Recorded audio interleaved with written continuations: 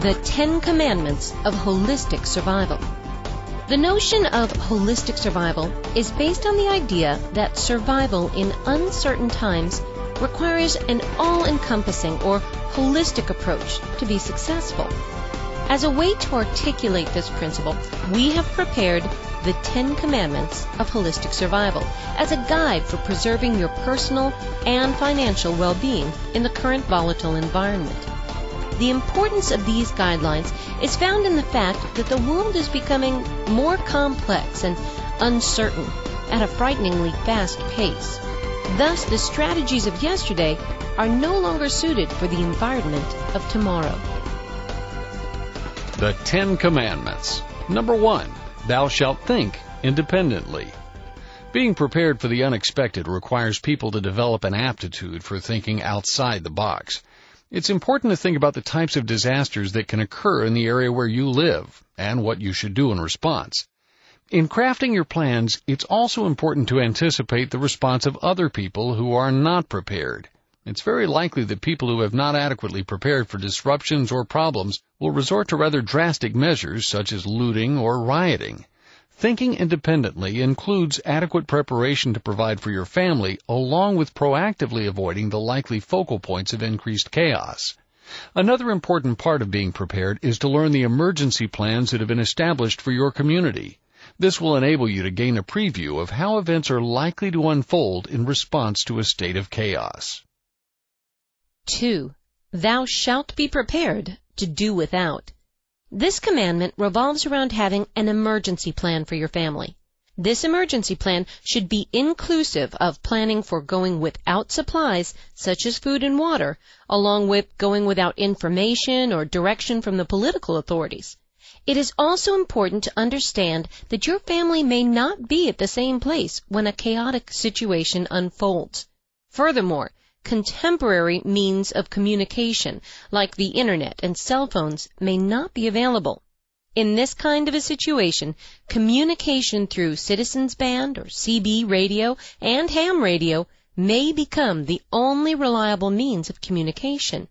Of these options, ham radio is the only broad reach communication option that is outside of the traditional communication grid. Each family should develop a holistic emergency plan and be prepared for the chaos that frequently results from crisis situations. Number three, thou shalt maintain control. The crux of this commandment is to stay cool and calm in a crisis situation similar to our creating wealth commandment to maintain control of your investments. Stay positive and avoid excessive stress or panic. Panic only places extra stress on top of a highly stressful situation. Controlling your emotions will allow you to keep a level perspective and place yourself in a position of strength. Staying positive is doubly important because of the high likelihood for panic to spread out to other people in crisis. Many social problems can result when panic becomes a pandemic and people make rash, emotional decisions out of fear. Many downcast people eat, spend more money excessively, or become addictive to abusive substances during difficult times. These kinds of self-destructive behaviors need to be proactively avoided so that you will be able to maintain a cool head and clear mind.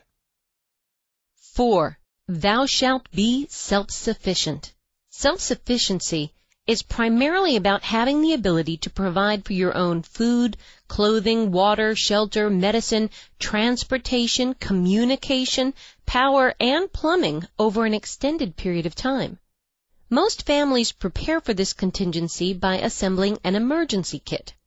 You should seek to have sufficient supplies for you and your family to survive for up to three months on your own without doctors, grocery stores, or other modern amenities. Consider what you will do if there is no medical care available in your area, or if all of the hospitals are swamped. In the event that a disaster occurs, it is likely that all of the local grocery stores will be out of stock within a few hours. It is important to ensure that your family is prepared for this contingency. Number five, thou shalt practice the primitive. Every year you should prepare by drill or practice to return to the primitive.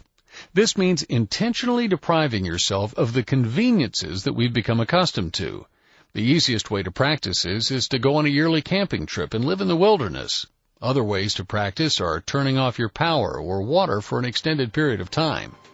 The importance of these drills is to help your family to develop the skills of rapid adaptation to abrupt changes in the amount of contemporary comforts available. Thank you for joining us today for the Holistic Survival Show, protecting the people, places, and profits you care about in uncertain times. Be sure to listen to our Creating Wealth show, which focuses on exploiting the financial and wealth creation opportunities in today's economy. Learn more at www.jasonhartman.com or search Jason Hartman on iTunes. This show is produced by the Hartman Media Company, offering very general guidelines and information. Opinions of guests are their own, and none of the content should be considered individual advice. If you require personalized advice, please consult an appropriate professional. Information deemed reliable, but not guaranteed.